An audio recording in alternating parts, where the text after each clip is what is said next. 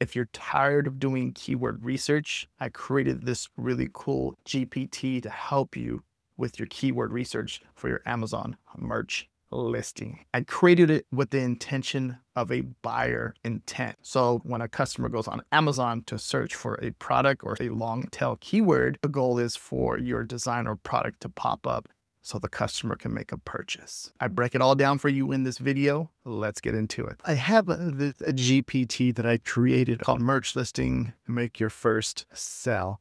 And I'm gonna have everything I'm sharing with this with you gonna be down below in the description or in the pinned comments. All right.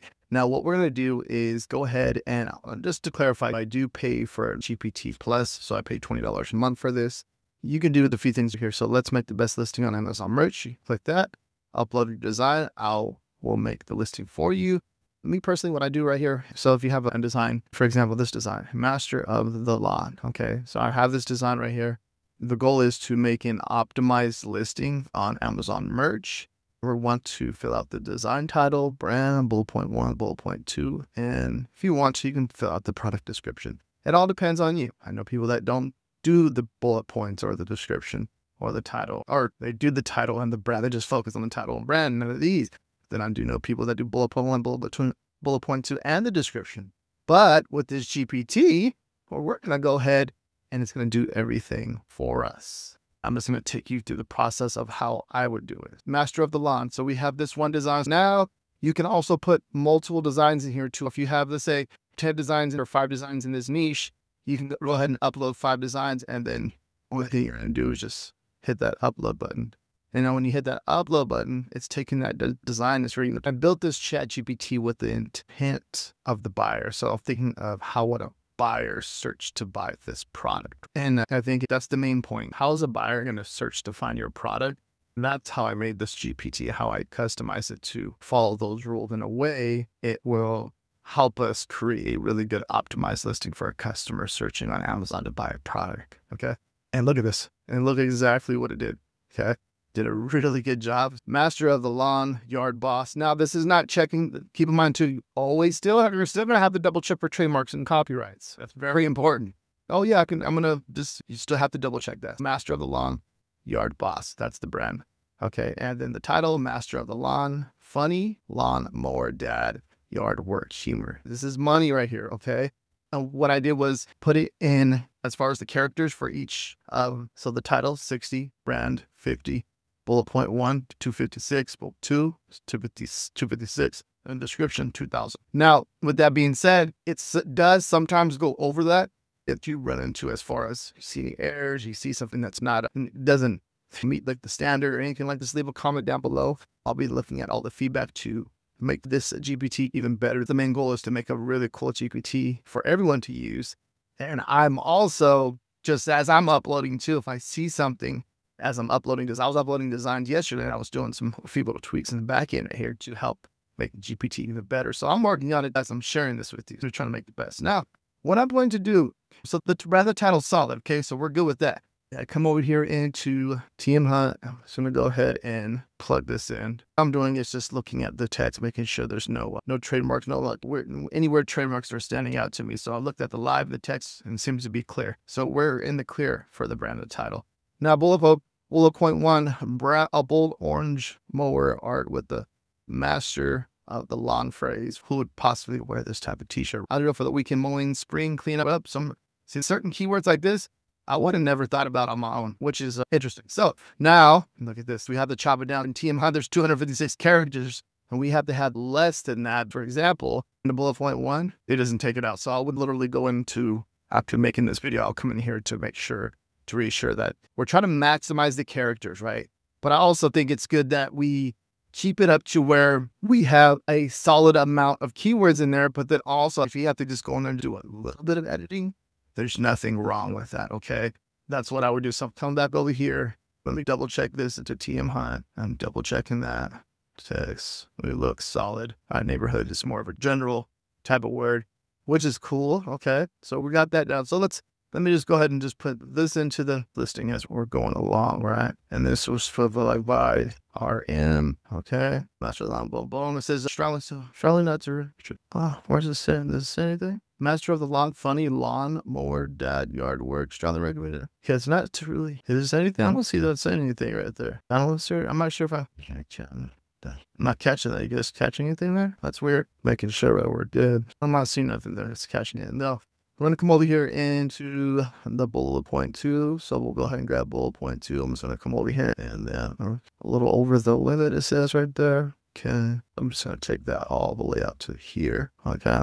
And then we're gonna go ahead and do the same thing. I'm just checking for any of uh, anything that's would be live and we looks like we're in the clear there. Okay. So we have all that down. Well, we're looking good. All right now there's. Let's go ahead see what we got here. I think we're gonna have to take this into two different parts. Let's check that. Look like we're in the clear. I'm gonna go ahead and show you what you can do in the GPT to help with uh, checking for the trademarks too, because you can do that. Let's take that. Let's take Oh, we're still going. Take that to that. We're good. Fresh cut. Ah, so usually with two keywords together like that, I would take that keyword out. So going fresh cut, fresh lines. It says purposely fresh lines to see what they should be good there. Usually when I see two keywords together like that, I take them out of my end. Should be good. And then have that. And then go back to. Take that beginning part, take it to the listing. We're moving, we're getting along. We're almost done here, guys. And then come back into here. Now, so the funny that we didn't check that part right. Come back into that. I'm going back and forth. I'm just checking a lot of this stuff, but I just wanted to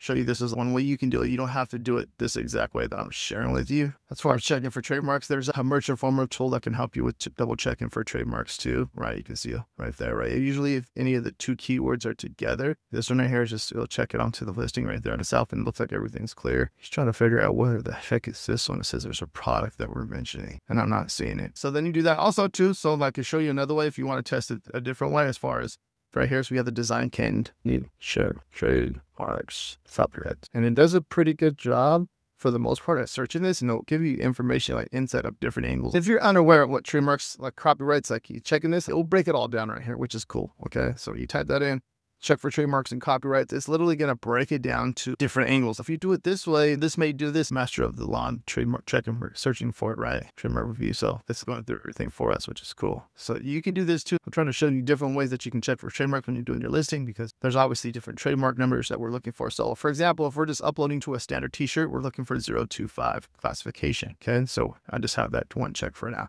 Whereas you looking for that 025 classification. And actually, let me go ahead and put this design in there. So we're looking for the 025 classification. Just to give you an idea, let's put it on all the dark colors. The green's not bad at all. The green's kind of standing. It does.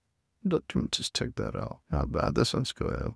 So give you an idea of the design. See the design, all right, for this. I'm just gonna go ahead and put the 14 on just for this example we have a solid listing, right? Everything all filled out and it's still searching. Let's go ahead and see if anything pops up. I'm going to do this just to show you like this, the other ways that you can do this. Yeah. So it says, didn't see any live federation of exact phrase, and lawn monster registration use funnel. By looking at this, it went over everything and it just showed us like related to be aware, which is cool because like when you're in this nation, like related classification marks, it gives you an idea to look out for. Maybe this, maybe that. And it says right here, looks low to moderate, moderate, so long as you don't suggest affiliation with those brands, which we're not putting nothing like that into the, we're not trying to confuse or trying to make something in with the brand. So that's very important.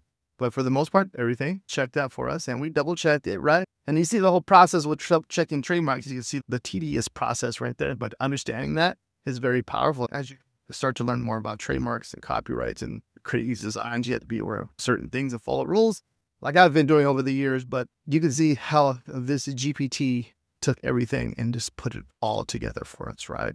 Now, another cool thing is, let's say you wanted to add a few more designs. Okay, let's go ahead and publish this one. Publish it, bam. Okay, I went ahead and published that one. But like I said, if you're going to go ahead and you want to upload, have added five more designs here, I can just go ahead and hit that upload and it will literally take these designs. Think about it. Go ahead, let that think. Okay, so it's checking for trademarks for us. Okay. We want to go ahead and make the listing. I should have put just make listing, but let that go ahead and go through. So it's checking each individual listing, each individual design and reading it, right? See how powerful it is and reading it to making sure that there's no trademark registrations or copyrights. And then it's going to go ahead and take those designs and then go over them to make sure that it's not infringing on any type of brand or keyword to put together.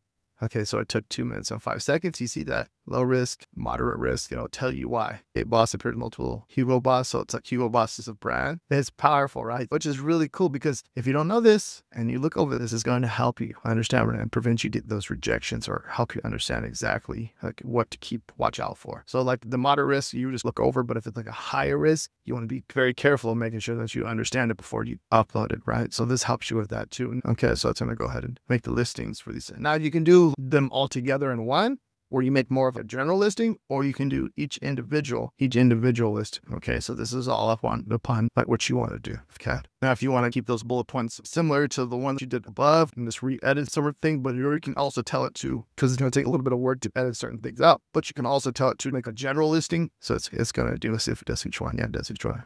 Okay. So I did each one. So you can see it by looking at the actual name of the listing and then matching the listing with the design. Now let's say, okay, this is cool. So can we do a more general listing for all of the designs? Bring me the magic. All right, now it made us a listing for pretty much all the designs. So if you're going to upload the same title and brand and bullet bullet description to that design, you can do so by leveraging this. Or you can do each design on its own, and then you can also check for trademarks and copyrights. And so there's a few different ways that you can do this, which is awesome because my main goal with this is to help you streamline the listing so you can get more designs up. In return, you make more money. And that is my goal with this right here. So very powerful if you see this. I'm going to have this down below in the description. So just go ahead and download it or put your information in and I will actually send you to the GPT. I'm not charging nothing. It's free. I just want you guys to test it out. If there's any concerns or anything like that, please leave a comment. We'll fine tune this GPT together so we can make something really cool and make something really cool behind this. In return, you make more money. That's the main goal. If you haven't heard of the top research design vault, I come up with 20 low competition niches every week, keywords, prompt ideas, and different design angles. That's down below in the description. And you get access to over 1,300 niches. If you want low competition niche ideas, watch this video right here. Thank you very much for watching. Make sure you subscribe to my channel with notification bells on and smash that like button because I'll be dropping weekly content on here for you.